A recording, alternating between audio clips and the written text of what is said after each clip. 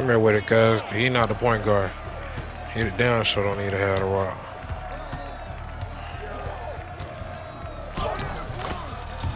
Mm hmm I said, oh, eh.